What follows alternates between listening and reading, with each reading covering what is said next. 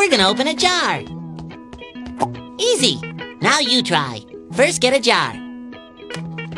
Patrick, that's a paw. Yes.